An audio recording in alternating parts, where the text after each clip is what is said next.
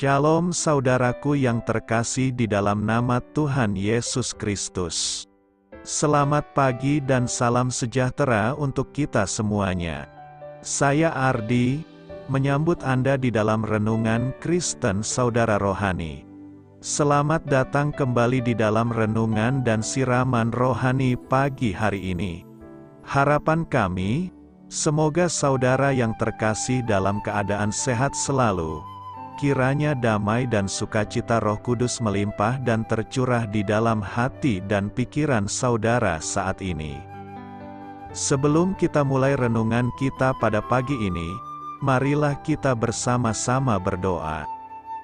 Selamat pagi Allah Bapa di surga, Allah yang Maha Pengasih dan Maha Baik. Terima kasih untuk penjagaanmu semalaman sehingga kami bisa tidur dengan nyenyak. Terima kasih untuk pagi hari yang indah, yang Tuhan sediakan untuk kami. Tuhan, pada hari ini, kami anak-anakmu akan melakukan berbagai aktivitas. Kami akan bekerja, dan menjalankan tanggung jawab kami, kiranya kau yang mampukan. Kami serahkan seluruh rencana dan agenda hari ini ke dalam tangan Tuhan biar Tuhan yang berkarya dan biarkan semua rencana sesuai dengan kehendak-Mu ya Tuhan Yesus yang baik. Ampuni dosa dan kesalahan kami Tuhan. Jadikan kami pribadi yang lebih baik setiap harinya. Terima kasih karena telah membolehkanku untuk kembali menghirup udara segar di pagi hari ini. Menikmati seluruh anugerah yang telah Engkau berikan kepadaku. Itu semua karena kebaikan dan curahan kasih yang nyata dari Engkau di kehidupanku. Haleluya! Dalam nama Tuhan Yesus, aku sudah berdoa. Amin. Sahabat pendengar saudara rohani, pembacaan ayat emas Alkitab renungan kita hari ini. Terambil dari kitab Keluaran 4 ayat 1 sampai dengan ayat 5. Lalu sahut Musa, Bagaimana jika mereka tidak percaya kepadaku dan tidak mendengarkan perkataanku? Melainkan berkata, Tuhan tidak menampakkan diri kepadamu. Tuhan berfirman kepadanya, Apakah yang di tanganmu itu? Jawab Musa, Tongkat, firman Tuhan, lemparkanlah itu ke tanah, dan ketika dilemparkannya ke tanah, maka tongkat itu menjadi ular, sehingga Musa lari meninggalkannya. Tetapi firman Tuhan kepada Musa, Ulurkanlah tanganmu dan peganglah ekornya. Musa mengulurkan tangannya, ditangkapnya ular itu, lalu menjadi tongkat di tangannya, supaya mereka percaya bahwa Tuhan, Allah nenek moyang mereka, Allah Abraham, Allah Ishak dan Allah Yakub telah menampakkan diri kepadamu. Ayat renungan kita pada pagi hari ini terambil dari kitab Keluaran 4 ayat 1 sampai dengan ayat 5. Inti dari ayat emas renungan kita adalah, Tuhan berfirman kepada Musa, Apakah yang di tanganmu itu? Mari kita mulai renungan pagi kita. Kata-kata bijak yang dapat kita petik adalah memakai yang sudah Allah sediakan. Renungan kita pada hari ini ditulis dan disusun oleh Win Collier. Mari kita mulai kisah inspiratif. Gedung Balai Kota di Brisbane, Australia, adalah proyek mengagumkan yang dibangun pada dekade 1920-an. Tangga marmernya yang berwarna putih menggunakan bahan yang sama seperti yang dipakai Michelangelo untuk membuat patung David. Menaranya mencerminkan Basilika Santo Marcus di Venesia, dan kubah tembaganya adalah yang terbesar di belahan bumi bagian selatan. Awalnya pihak pembangun berniat menaruh patung malaikat kedamaian berukuran raksasa sebagai hiasan di puncaknya. Tetapi mereka kehabisan dana, seorang tukang pipa bernama Fred Johnson mempunyai ide brilian. ia menggunakan tangki toilet, tiang lampu yang sudah usang, dan potongan-potongan logam bekas untuk membuat bola ikonik yang hingga kini telah menghiasi menara tersebut selama hampir 100 tahun. Seperti Fred Johnson menggunakan apa yang ia miliki, kita pun dapat turut serta dalam karya Allah dengan apa pun yang kita miliki, besar atau kecil. Ketika Allah memerintahkan Musa untuk membawa bangsa Israel keluar dari Mesir, Musa menolak keras, Bagaimana jika mereka tidak mendengarkan perkataanku? Allah menjawab dengan pertanyaan sederhana, Apakah yang di tanganmu itu? Musa sedang memegang sebatang tongkat sederhana. Allah pun memerintahkan Musa untuk melemparkan tongkat itu ke tanah. Maka tongkat itu menjadi ular. Lalu dia memerintahkan Musa untuk mengambil ular itu. Dan ular tersebut berubah lagi menjadi tongkat. Allah menjelaskan bahwa yang perlu Musa lakukan hanyalah membawa tongkat itu dan mempercayai Allah yang akan bekerja selanjutnya. Yang luar biasa. Dia kemudian menggunakan tongkat di tangan Musa tadi untuk melepaskan Israel dari cengkeraman Mesir. Apa yang kita miliki mungkin tampak tidak cukup berarti bagi kita, tetapi bersama Allah, apa pun yang kita miliki sangat cukup. Dia sanggup memakai milik kita yang biasa-biasa saja untuk menggenapi karyanya. Marilah kita renungkan di dalam hati kita, hal sederhana apa yang dapat Anda pakai untuk Allah. Mengapa penting bagi Anda untuk mempercayakan hal itu kepadanya?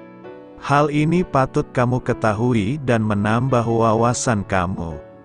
Dalam keluaran 3-4, kemanusiaan Musa tampak jelas. Sang Nabi Agung juga adalah manusia biasa yang perasaannya dapat kita selami. Karena takut, ia menolak untuk menerima amanat Allah untuk memimpin umatnya keluar dari perbudakan. Hal ini terjadi sekalipun Allah sudah melakukan mujizat-mujizat di hadapan Musa, semak yang tidak dimakan api dan tongkatnya yang berubah menjadi ular. Ketika tongkat Musa menjadi seekor ular, ia bereaksi seperti orang pada umumnya, ia lari meninggalkannya. Namun kemudian, ia menunjukkan keberanian dan iman dengan memegang ekor ular tersebut. Cara paling aman untuk memegang ular beracun dan mencegahnya menyerang kita, tetapi harap jangan dilakukan, adalah dari belakang kepalanya, Kuasanya tidak terletak pada tongkat Musa atau diri Musa itu sendiri, melainkan pada Allah Israel, yang kekuatannya tidak tertandingi oleh dewa-dewa Mesir, termasuk sang ular. Bertekunlah dalam doa, Kolose 4 ayat 2 berkata, Bertekunlah dalam doa dan dalam pada itu berjaga-jagalah sambil mengucap syukur. Bertekun dalam doa adalah nasihat penutup Rasul Paulus dalam suratnya kepada jemaat Kolose. Bertekun dan berjaga-jaga di dalam doa, serta banyak menaikkan doa-doa ucapan syukur dan doa untuk pemberitaan Injil. Kita juga perlu berjaga-jaga di dalam doa-doa kita karena hari-hari terakhir ini kita sedang memasuki era peperangan rohani yang besar. Iblis tidak akan tinggal diam dengan penuaian yang akan terjadi. Ia akan mulai mengacaukan pemberitaan Injil yang akan terjadi. Kita perlu banyak berdoa bagi pemberita-pemberita Injil, gereja dan anak-anak Tuhan agar penginjilan dapat terjadi tanpa gangguan si jahat. Berdoalah sampai Tuhan melawat hidup kita, keluarga, gereja, kota dan bangsa jangan berhenti berdoa. Dalam nas hari ini, setidaknya ada hal penting yang harus kita lakukan dalam berdoa, yakni Pertama, teruslah bertekun dalam doa. jangan menyerah, teruskanlah kerajinan yang sudah kita tunjukkan dalam doa harian kita. Ada banyak kuasa yang kita miliki jika kita bertekun di dalam doa. Kedua, berjaga-jagalah dalam doamu, artinya, waspadalah. Paulus belajar dari cerita kebenaran yang terjadi di Getsemani. Tuhan Yesus meminta para rasul untuk berdoa, tetapi dia menemukan mereka tertidur, sehingga dia berkata, tidak bisakah kamu berjaga-jaga satu jam saja? Berdoalah dan berjaga-jagalah, sehingga kamu tidak jatuh dalam pencobaan. Kita harus waspada saat kita berdoa, waspada terhadap melanturnya pikiran kita, terhadap pengulangan yang tidak berarti, terhadap ekspresi dan pendapat yang tidak berarti terhadap keinginan yang egois dan terbatas pada diri sendiri.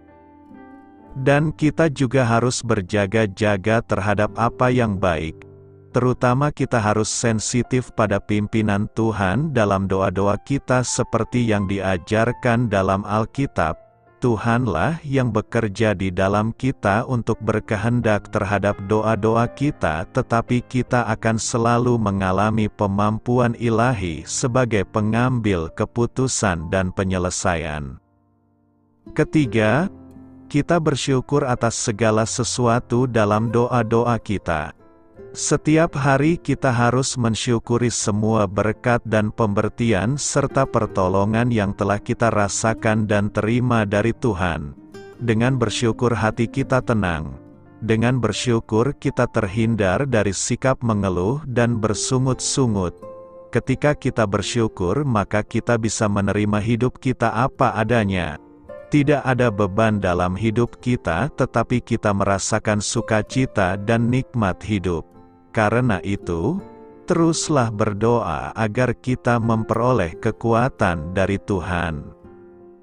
Jangan menambahi dan mengurangi, ulangan 4 ayat 2 berkata, Janganlah kamu menambahi apa yang kuperintahkan kepadamu dan janganlah kamu menguranginya. Dengan demikian kamu berpegang pada perintah Tuhan, Allahmu, yang kusampaikan kepadamu. Janganlah kamu menambahi apa yang kuperintahkan kepadamu dan janganlah kamu menguranginya. Maksudnya supaya jangan sampai kita memperlakukan firman Tuhan itu sesuai dengan selera atau keinginan kita, tetapi harus menempatkan diri kita sesuai dengan kehendak Tuhan.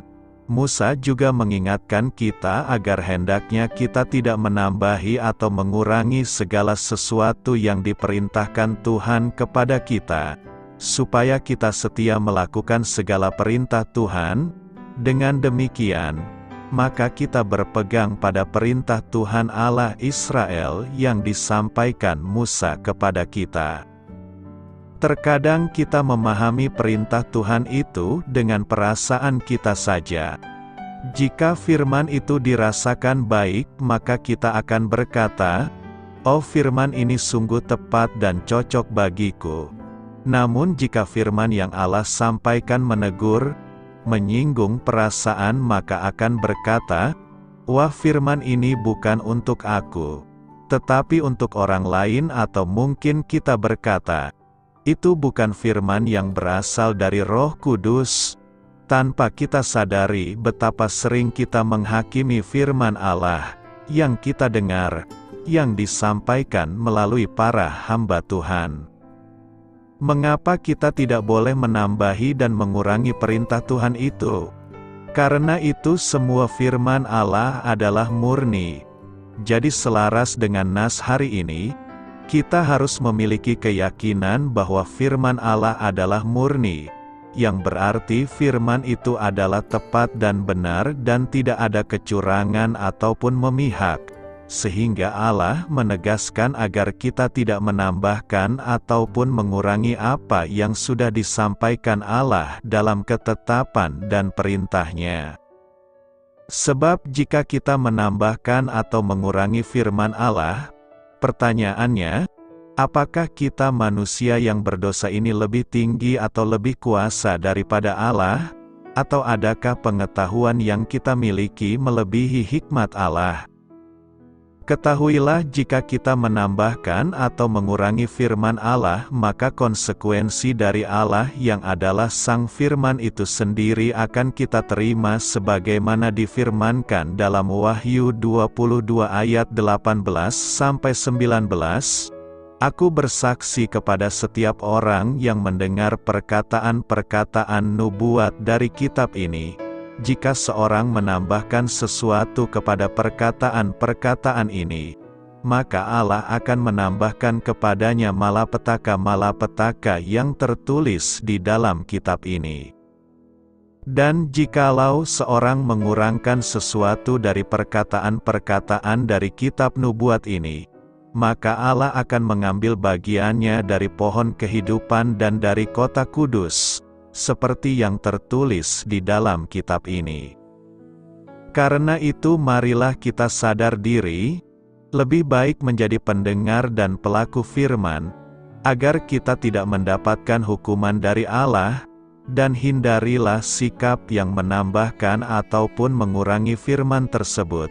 Tetapi marilah kita lakukan dengan setia sebagaimana firman Tuhan dalam-dalam hidup kita. Apakah Allah masih berbicara kepada kita pada zaman sekarang? Alkitab mencatat bahwa Allah berulang kali berbicara dengan cara yang dapat didengar kepada bermacam-macam orang. Pada zaman ini, tidak ada alasan mengapa Allah tidak bisa atau tidak mau berbicara kepada seseorang dengan cara yang dapat didengar. Dari ratusan kali peristiwa Allah berbicara, Sebagaimana dicatat dalam Alkitab, kita perlu mengingat bahwa itu terjadi dalam kurun waktu 4000 tahun sejarah peradaban manusia. Allah berbicara secara kedengaran adalah pengecualian, bukan kebiasaan. Ketika Alkitab mengatakan Allah berbicara, tidaklah jelas apakah itu mengacu kepada suara yang kedengaran, dalam hati atau kesan yang muncul dalam pikiran. Allah masih tetap berbicara kepada orang-orang pada zaman sekarang ini. Pertama-tama, Allah berbicara kepada kita melalui firman-Nya.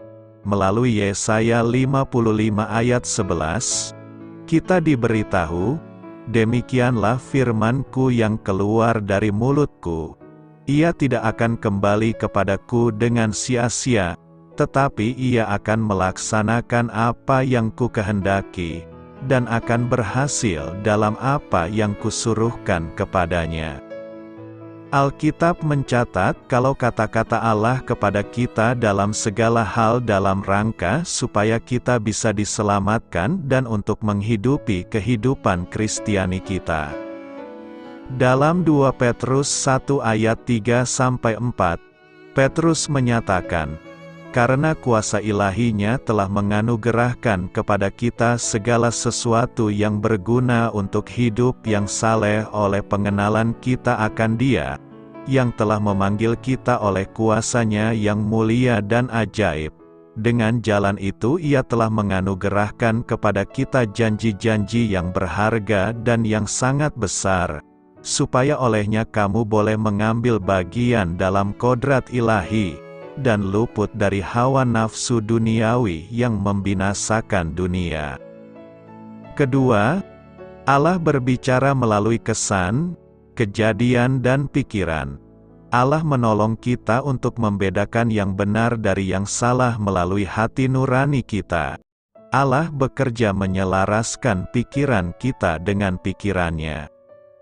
Allah mengizinkan kejadian-kejadian dalam hidup kita untuk mengarahkan, mengubah, dan menolong kita bertumbuh secara rohani.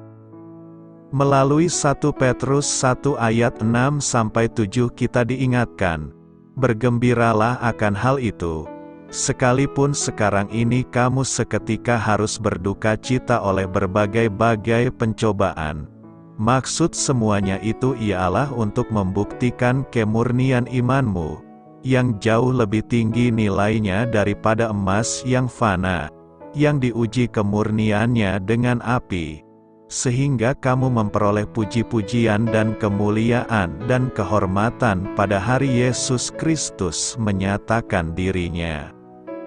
Akhirnya, ya, Allah kadang-kadang berbicara secara kedengaran kepada orang, namun sangat diragukan bahwa hal ini terjadi sesering yang diakui oleh sebagian orang. Sekali lagi, Bahkan di dalam Alkitab, Allah berbicara dengan bersuara sebagai suatu pengecualian, bukan kebiasaan. Jika ada orang yang mengaku-ngaku bahwa Allah telah berbicara kepadanya, bandingkan dengan apa yang Alkitab katakan, jika Allah berbicara saat ini, kata-katanya akan sesuai dengan yang apa yang telah dikatakannya dalam Alkitab. Allah tidak berkontradiksi dengan dirinya sendiri. Melalui 2 Timotius 3 ayat 16 sampai 17 ditegaskan, segala tulisan yang diilhamkan Allah memang bermanfaat untuk mengajar, untuk menyatakan kesalahan, untuk memperbaiki kelakuan dan untuk mendidik orang dalam kebenaran dengan demikian tiap-tiap manusia kepunyaan Allah diperlengkapi untuk setiap perbuatan baik.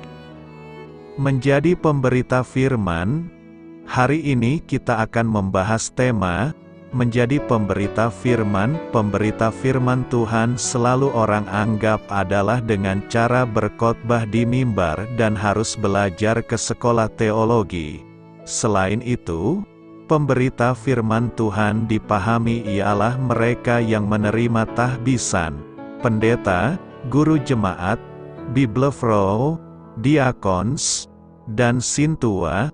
Pemahaman ini tidak salah sebab merekalah yang sering secara verbal kita lihat pemberita firman Tuhan baik di gereja, keluarga dan masyarakat. Menjadi pemberita firman tidak hanya anggapan seperti di atas tadi. Pemberita firman Tuhan itu berlaku bagi semua orang. Sebagai kepala rumah tangga, sebagai ibu rumah tangga, sebagai pegawai negeri atau swasta, sebagai pengusaha atau wira swasta, sebagai sopir atau masinis atau pilot, sebagai tukang sapu, pebisnis, penjual koran, dan lain-lain juga adalah pemberita firman. Memberitakan firman tidak harus fasih berkata-kata seperti berkhotbah, tetapi kita memberitakan firman Tuhan melalui tutur kata, pola laku, tindakan, dan perbuatan kita kepada semua orang itulah juga pemberita firman. Sebagai orang percaya kita bersama-sama memberitakan firman Tuhan kepada semua orang. Kita memberitakan firman Tuhan dalam keseharian kita, melalui tutur kata dan sikap sopan santun kita di kantor, di pasar, di ladang atau sawah, orang merasakan kehadiran Tuhan. Saat kita berada bersama-sama dengan keluarga, sahabat dan rekan-rekan kita mereka merasakan ada kebaikan, kebahagiaan yang keluar dari dalam diri kita. Itulah pemberita firman. Kita semua adalah pemberita firman Tuhan. Firman Tuhan ini bukan hanya untuk Timotius, tetapi untuk semua gereja Tuhan, orang-orang percaya yang telah dipanggilnya dan menerima kasih Tuhan yang besar. Kesempatan dan tanggung jawab untuk memberitakan Injil adalah milik kita semua. Mungkin kita berkata, "Aku tidak tahu caranya. Bagaimana ya? Aku bukan pendeta atau penginjil." Setiap orang percaya yang menerima Yesus Kristus sebagai Tuhan, di dalam dirinya ada firman yang hidup. Di mana dan ke mana, ia sedang memberitakan firman itu, kamu adalah kitab terbuka yang dikenal dan dibaca oleh semua orang, ide-ide hasil pemikiran kita, tutur kata dan cara penyampaian bahasa, juga semua karya yang dihasilkan, sesungguhnya adalah buah pemberitaan Injil yang Tuhan tanam di dalam diri kita. Masalahnya, apakah kita berani menyaksikan itu kepada orang lain? Bahwa semua itu datang dari kasih Allah yang besar bagi kita melalui karya Yesus. Sebagai pemberita firman Tuhan, jangan mengubah berita kabar baik itu Pusat dari pemberitaan adalah Allah sendiri. Kasihnya yang besar yang diberikan kepada manusia yang sesungguhnya tidak pantas menerimanya.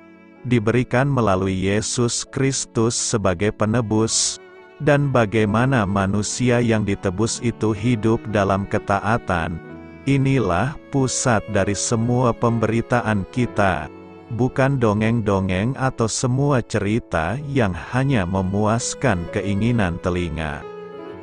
Sebagai pemberita firman Tuhan, jangan hanya sesekali, melainkan kita harus rajin dalam melakukan pemberitaan firman Tuhan itu.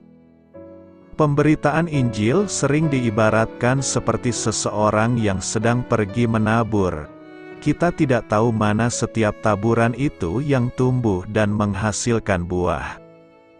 Pengkhotbah 11 ayat 6 mengatakan, Taburkanlah benihmu pagi-pagi hari, dan janganlah memberi istirahat kepada tanganmu pada petang hari, karena engkau tidak mengetahui apakah ini atau itu yang akan berhasil atau kedua-duanya sama baik. Tidak semua orang menerima baik setiap pemberitaan, kita akan menemukan bermacam-macam respon orang atas pemberitaan ini.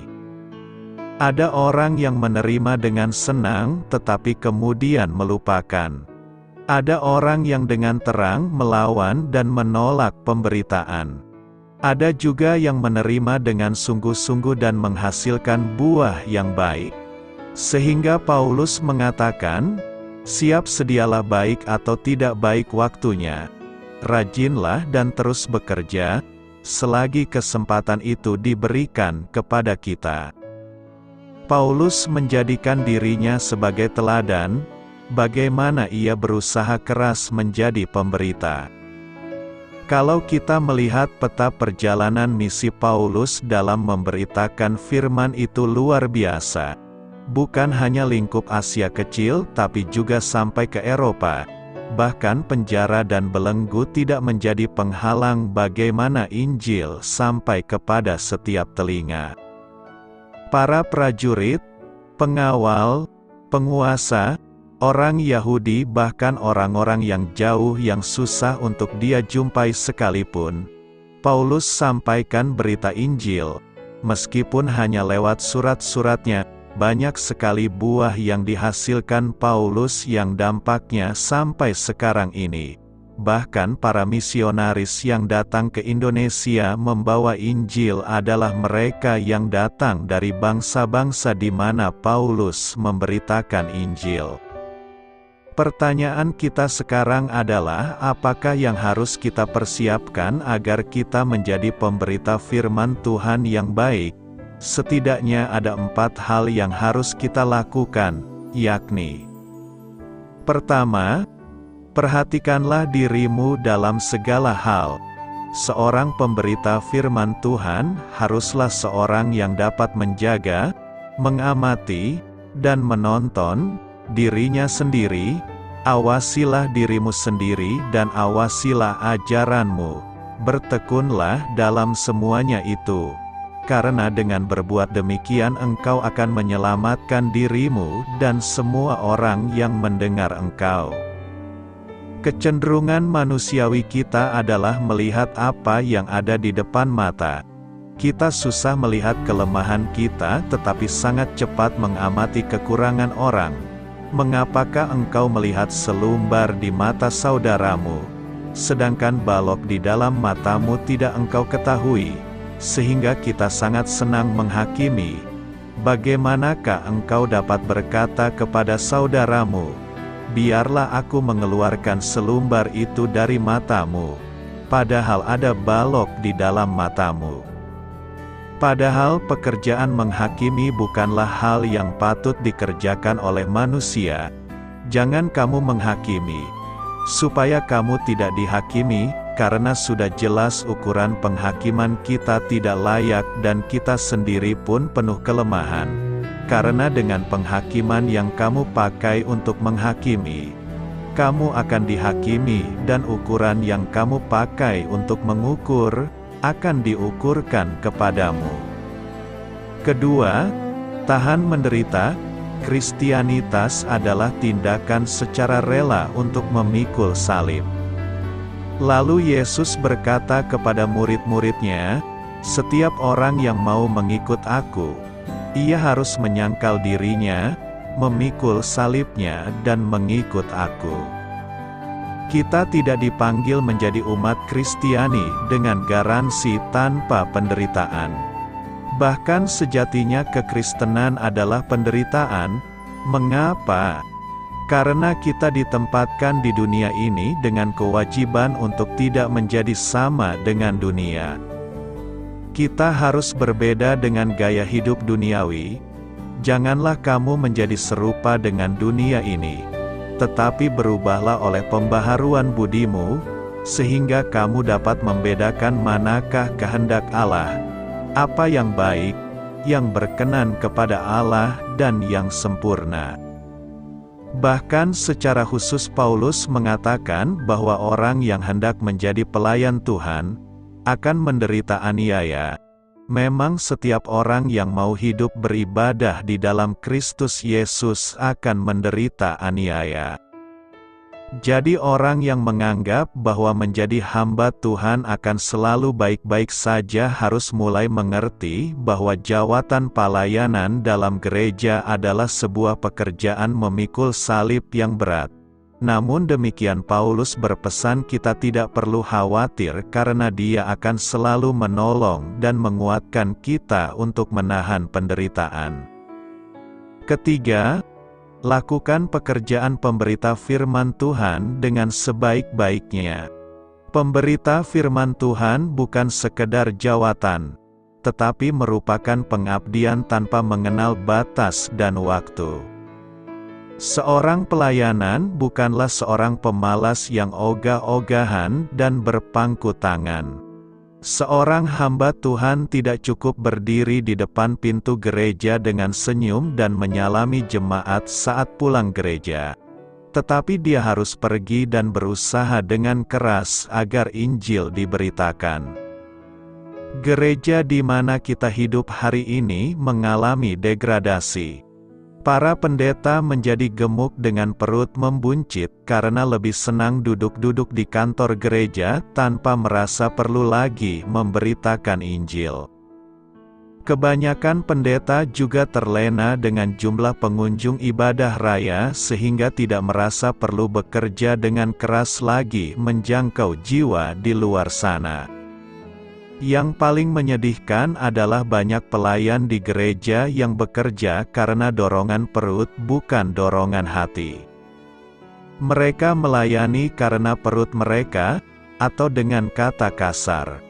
Mereka hanyalah sebatas pelayan amplop, sebab orang-orang demikian tidak melayani Kristus, Tuhan kita, tetapi melayani perut mereka sendiri.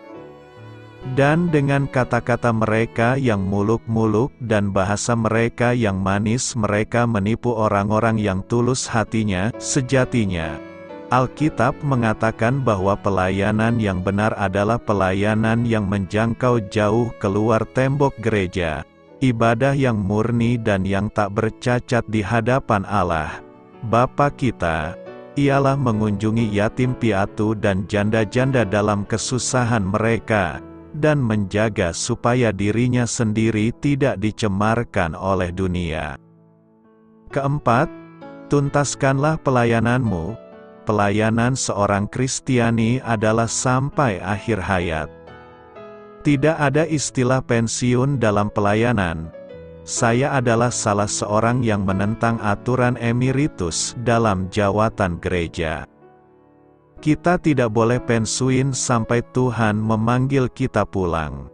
Rasul Paulus mengatakan bahwa ia sudah sampai ke garis finish. Dia telah berhasil mengakhiri pertandingan imannya melawan dunia. Ia telah setia memelihara iman kepada Yesus Kristus selama hidup. Aku telah mengakhiri pertandingan yang baik. Aku telah mencapai garis akhir dan aku telah memelihara iman. Ada sebuah terjemahan yang indah. To do your job well. Benar, dalam menunaikan tugas pelayanan kita harus bekerja dengan baik, jangan serampangan dan asal jadi. Jadilah pelayan yang mengerjakannya dengan sungguh dari dasar hati sampai engkau kelak kembali dipanggil pulang olehnya. Pertanyaan kita selanjutnya adalah, apakah yang menjadi alasan mengapa kita harus menjadi pemberita firman Tuhan? Pertama, karena mandat Allah, panggilan pemberita firman Tuhan adalah panggilan setiap orang percaya. Memang dalam surat ini secara khusus Paulus memberi mandat kepada Timotius untuk memberitakan firman Tuhan. Tetapi perintah atau mandat untuk memberitakan firman Tuhan, bukan berasal dari Paulus, tetapi dari Allah. Begitu pula cakupannya, bukan semata ditujukan kepada Timotius, tetapi juga ditujukan kepada setiap orang percaya, karena setiap orang percaya adalah imamat yang rajani. Ini konsep yang baru dan berbeda dengan era dalam Perjanjian Lama, di mana pemberita firman Tuhan hanya sebatas kepada orang-orang tertentu. Setiap orang percaya berhak dan bertanggung jawab untuk memberitakan firman Tuhan. Tetapi, sebagai pemberita, ada hal penting yang perlu diketahui agar memiliki pemahaman yang benar dalam memberitakan firman Tuhan. Kedua, karena pemberita firman Tuhan hendak membawa berita keselamatan. Alkitab adalah berita keselamatan dan kebenaran Allah yang memerdekakan. Firman itu harus diberitakan kepada setiap orang agar menjadi pedoman bukan sebagai kenang-kenangan, sehingga iman mereka bertambah kian dewasa dan tidak bercacat celah. Barang siapa yang menerima firman Tuhan yang didengar saat firman itu diberitakan akan menjadi alat pacu untuk meresponi keselamatan dan pemateraian Roh Kudus, dan penghayatan terhadap firman Tuhan akan membuat hidupnya kian bertambah baik. Begitu pula dengan damai sejahtera yang menyelubungi hati adalah hasil yang diperoleh akibat penerimaannya akan firman Tuhan. Timotius memiliki seorang ayah kafir, tetapi ibunya Yunike dan neneknya Lois adalah orang percaya yang menuntun dia kepada keselamatan. Firman Tuhan yang diajarkan kepadanya sejak di usia dini menyebabkan Timotius meresponi keselamatan dari Allah. Selanjutnya, Paulus kian melengkapi Timotius dengan pengajaran yang benar dan pola hidup yang selaras dengan kebenaran firman Tuhan. Ketiga, pemberita firman Tuhan akan membawa transformasi kehidupan. Seorang ateis berkata kepada seorang kepala suku di Afrika ketika melihat anaknya sedang membaca Alkitab. Dengan sikap mengejek ateis tersebut sesumbar berkata, Kenapa kau izinkan anakmu membaca Alkitab? Itu buku jelek dan tidak masuk akal. Lalu kepala suku berkata kepada ateis itu, karena Alkitab yang telah dibacanya itu maka kehidupannya mengalami perubahan. Sebelumnya ia adalah seorang yang jahat, pemarah dan penuh kebencian. Tetapi sekarang ia berubah secara drastis. Kalau dahulu, bila dia melihat kamu bersikap seperti ini, Pasti kamu sudah dimakannya karena sebelumnya dia adalah seorang penjagal manusia. Kalau Alkitab itu buku yang jelek dan tidak baik, kenapa hidupnya bisa menjadi lebih baik? Kondisi manusia di saat Paulus menuliskan surat ini sedang mengalami kemerosotan moral. Ada 19 ciri kemerosotan moral yang sedang terjadi saat itu, yaitu, mencintai diri sendiri, pendusta, sombong dan lainnya. Paulus menegaskan bahwa kemerosotan moral itu dapat diantisipasi melalui pemberitaan firman Tuhan yang akan mentransformasikan kehidupan bagi siapa saja yang dengan segenap hati mendengarnya. Itu artinya, tidak satu pun buku yang dapat mengubahkan hidup manusia kecuali Alkitab. Tetapi Paulus juga menegaskan bahwa upaya transformasi kehidupan itu harus dibarengi dengan cara penyampaian firman Tuhan yang baik dan benar serta keteladan hidup dari sang pengkhotbah yang mencerminkan firman Tuhan yang telah dikotbahkannya. Frase kuasailah dirimu dalam segala hal, memberi indikasi bahwa bahwa pengkhotbah bukan semata menguasai teknik berkhotbah tetapi juga mampu menguasai perilakunya. Dalam suratnya yang lain, Paulus mengingatkan Timotius akan konsekuensi penolakan dari jemaat bila hidupnya tidak seperti yang dikotbahkannya, Bukankah khotbah yang hidup itu adalah kehidupan dari sang pengkhotbah itu sendiri? Gagasan itulah yang sedang ditekankan oleh Rasul Paulus melalui teks ini, sehingga kehidupan umat Tuhan mengalami transformasi oleh pemberitaan firman Tuhan. Karena itu, jadilah pemberita firman Tuhan yang baik. Tuhan membimbing kita, Keluaran 33 ayat 14 berkata, Lalu ia berfirman, Aku sendiri hendak membimbing engkau dan memberikan ketenteraman kepadamu. Dalam misi perjalanan bangsa Israel keluar dari Mesir menuju tanah perjanjian di Kanaan, Tuhan memberikan jaminan kepada Musa dan bangsa Israel bahwa Tuhan akan membimbing mereka selama di perjalanan dan akan memberikan kententraman bagi mereka. Sejak dari awal Tuhan telah berjanji untuk menyertai Musa dan bangsa Israel. Namun di tengah perjalanan, Bangsa Israel berubah setia terhadap Tuhan di mana mereka membuat patung anak lembu emas dan menyembahnya. Bangsa Israel lupa bahwa Tuhan mereka adalah Tuhan yang telah membawa mereka keluar dari tanah perbudakan Mesir. Namun mereka begitu cepat melupakan Tuhan dan perbuatan ajaibnya. Begitu mudahnya mereka tidak melibatkan Tuhan lagi dalam perbuatan mereka. Akibatnya, Tuhan menjadi marah. Inilah yang menjadi pesan Tuhan bagi kita di hari ini. Tuhan mau kita memerhatikan setiap langkah dan keputusan yang kita ambil. Apa pun langkah yang akan kita tempuh, pastikan bahwa Tuhan terlibat dan menyertai di dalamnya. Tuhan tidak mau umatnya mengalami kerusakan, dan penyesalan ketika tidak memerhatikan dengan saksama setiap langkah yang diambilnya. Langkah dan keputusan yang diambil dapat berupa apa saja, entahkah perihal pekerjaan, usaha, sekolah lanjutan, pelayanan hingga tentang perkara pasangan hidup dan lain-lain.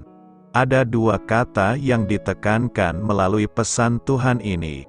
Kata yang pertama adalah perhatikan langkahmu dan kata yang kedua adalah kerusakan. Setiap kita membutuhkan kemurahan Tuhan untuk dapat melewati hari-hari kehidupan kita. Tak dapat dipungkiri bahwa kita membutuhkan Tuhan untuk menuntun kehidupan kita setiap saat. Kalau kita sadar bahwa kita butuh penyertaan Tuhan dalam setiap langkah kita, maka mulailah libatkan Tuhan di dalamnya, banyak orang percaya yang cukup dengan merasa disertai Tuhan, tahu Tuhan Yesus baik, namun Tuhan tidak dilibatkan di dalam langkah-langkahnya. Beberapa hal yang harus kita perhatikan berkaitan dengan pesan Tuhan ini agar kita menjadi orang-orang yang berjalan dalam kehendak Tuhan, di antaranya adalah Pertama, Ingat janji Tuhan adalah Dia akan membimbing kita. Tuhan menyatakan dirinya hadir di tengah bangsa Israel, berjalan di depan dan menyertai mereka. Kehadirannya menegaskan bahwa Tuhan memelihara, mencukupkan, dan melindungi mereka dari ancaman mara bahaya. Tuhan juga berjanji di dalam hidup kita bahwa Dia akan menyertai kita dalam menghadapi tantangan hidup ini. Tuhan adalah Immanuel, Allah yang beserta dengan kita. Dia akan memelihara hidup kita.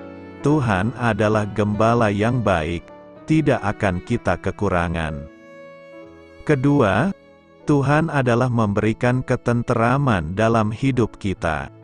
Kata "ketenteraman" dalam ayat emas ini mengandung arti tempat peristirahatan atau kenyamanan.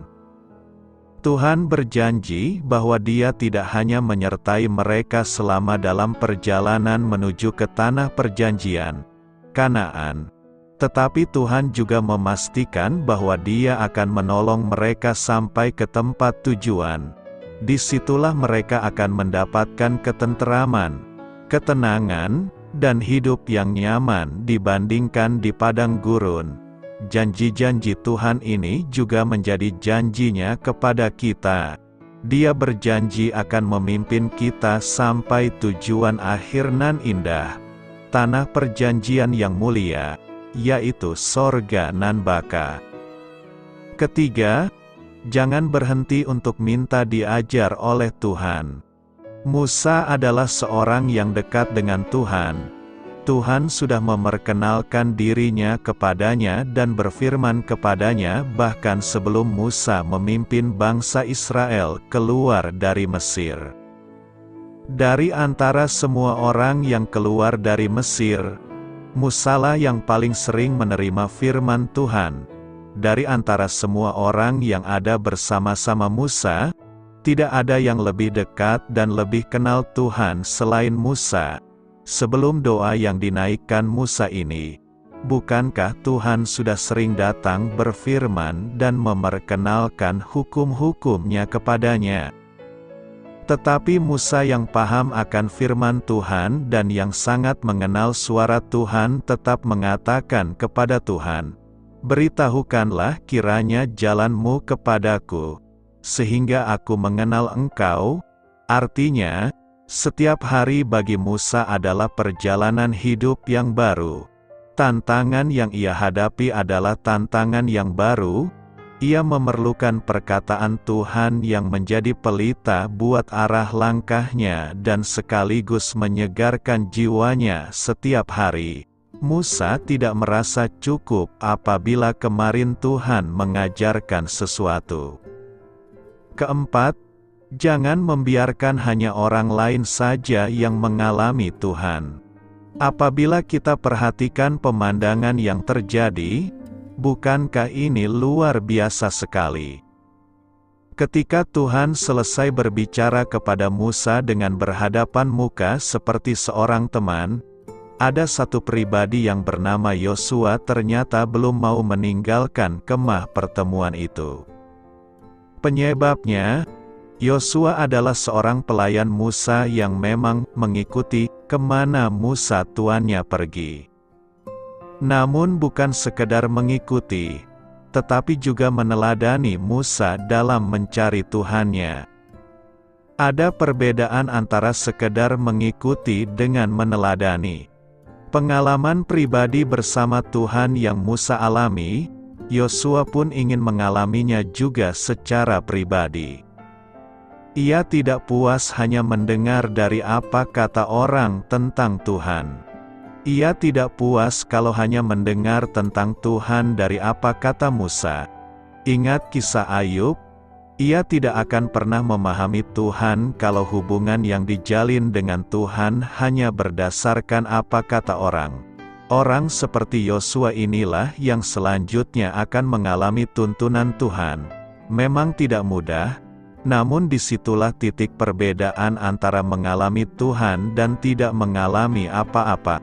Karena itu, teruslah menapaki kehidupan ini dengan keyakinan bahwa Tuhan membimbing dan menyertai kita hingga akhirnya.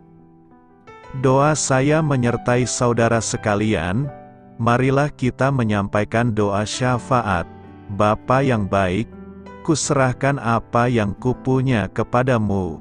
Amin. Sampaikan harapan dan permintaan saudara kepada Tuhan.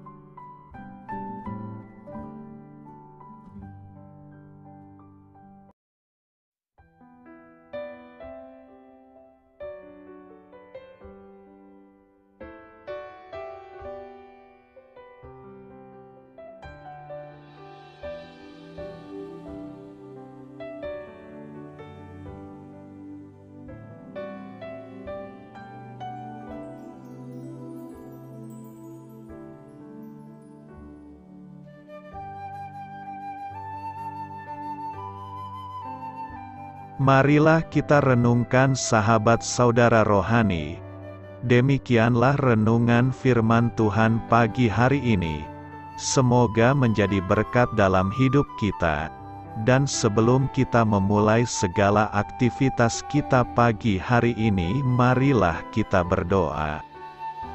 Selamat pagi Bapa, malam hari telah berganti pagi kehidupan baru telah Engkau berikan kembali bagi kami.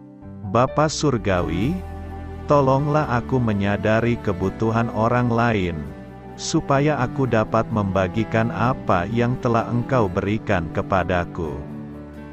Pada saat aku membutuhkan, berilah aku keyakinan bahwa Engkau akan mencukupkanku melalui orang-orang yang mengasihimu bukan karena kami pantas atau layak.